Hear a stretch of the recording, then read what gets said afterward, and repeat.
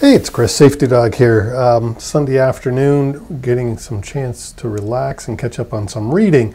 And I'm reading here Fleet Owner Magazine and their article on musing on changes to the hours of service. So I'll put that link in the show notes below so that you can read it too. You, as a truck driver, are these changes good for you or not? I want to hear your thoughts in the comments down below. Here's my thought about the new sleeper berth um, change. As you know, uh, the two hours, the old 8 and 2 rule or the 2 and 8 rule, the two hours didn't stop the 14 hour on duty clock. Uh, only the 8 did. Well, under the new rules, the 8 and 2 or the new 7 and 3, both pieces of that will stop the 14 hour clock. And generally, I really think that's a good thing for drivers. However, it got me thinking will some companies abuse it and force you to abuse it? Uh, for example, you're stuck in a loading dock for you know four or five hours. It happens, unfortunately. Uh, well, some dispatchers say, "Well, just put that down as three hours on the sleeper and and you know get going."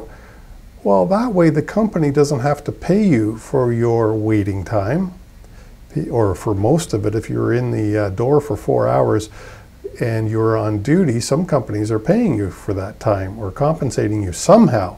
But if you write down sleeper berth time, you're not getting paid. So are companies going to be abusing this new rule? I want to hear your thoughts, drivers. Please leave me a comment down below. Uh, is this a good thing or a bad thing? And the other part that I really think uh, they changed for the good, but I never liked the rule, is the 30 minute break rule.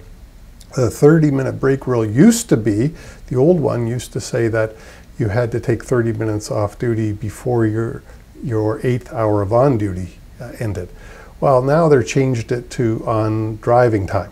So uh, I think that's a benefit. Still don't like the rule, but at least it's better than it was, that change. So let me know your thoughts about the sleeper berth, the new rule. Are companies going to abuse it? And are you going to be working more hours again for less money? That's my question, all right? Thanks so much. Safety Dawg's out.